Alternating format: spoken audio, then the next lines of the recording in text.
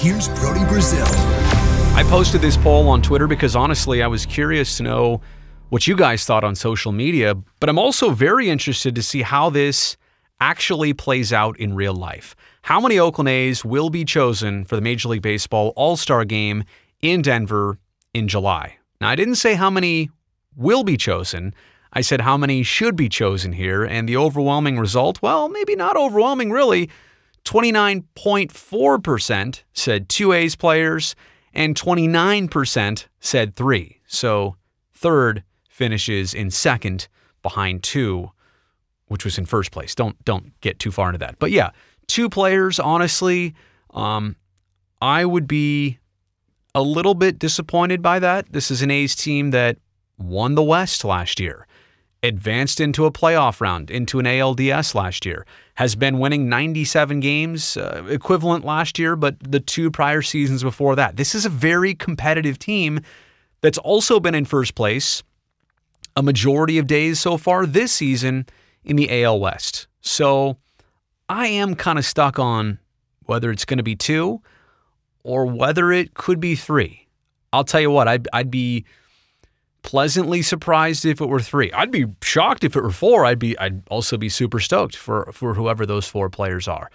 But I want to narrow it down to the three I think make the most sense right now, and I'll explain all of these here. Mark Canha for me, this has got to be his year. If not this year, then what year? Uh, he has switched to being a leadoff hitter. He's now an everyday player. I mean, he kind of was that last year. It was a short season. He plays center field. He can play the corner outfield position. He could play first if you need him there. Uh, but with Matt Olson and Mitch Moreland, that's not necessarily going to present itself.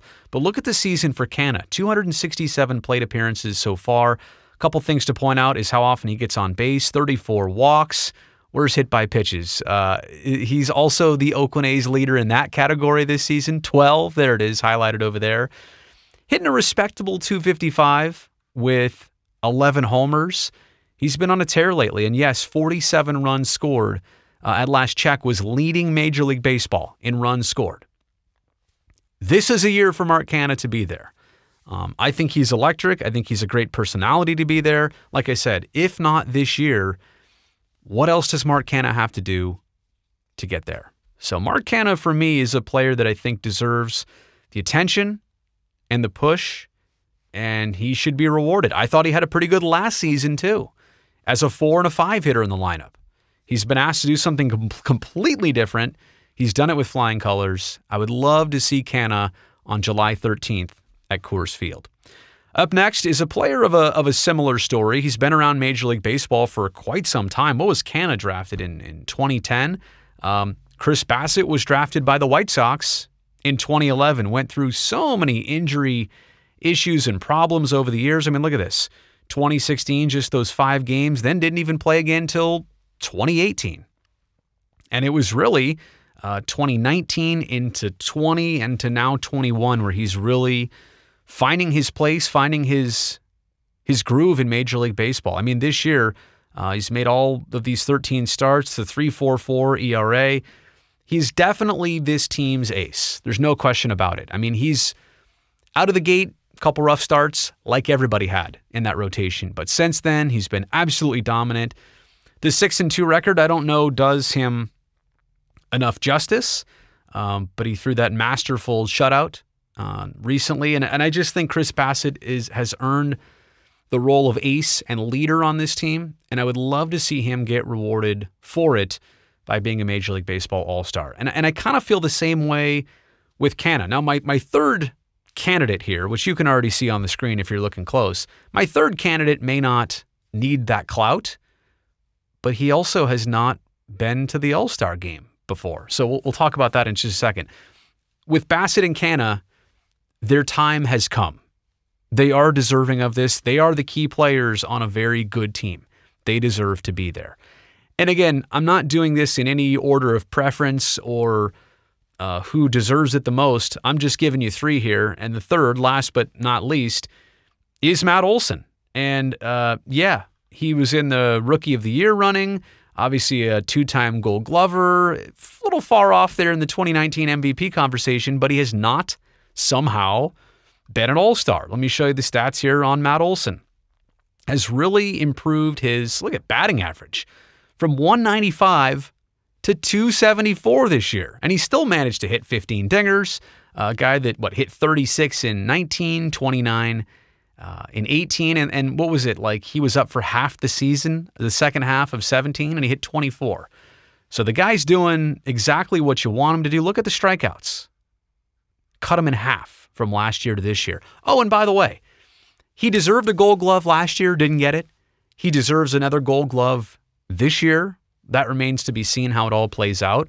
But it's kind of a surprise to me, actually, that Matt Olson has what? He's not been an all star yet? How's that possible?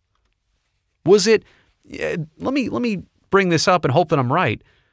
Was it also Eric Chavez who played all those magnificent years with the Oakland A's and was never an all star because there was always a logjam at third base in the American League. And I understand Vlad Guerrero Jr. is out there, baby Vlad, and he's going to be popular. I think he's got 18 homers as I record this right now, 18, 19, something like that. Um, so he's going to be in this conversation as well. But you you could have two first basemen there. Matt Olson should finally get this recognition. So just to recap, I would hope that the number is three. I think the A's have earned that. I'd be a little bit let down, honestly, if it's two.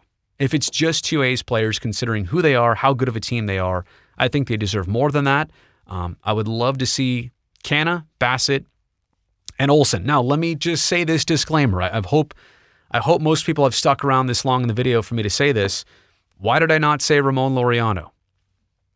Mostly because of the injury if he were completely healthy right now and he had been dominating the way he started and was playing most of May, he'd be right in there.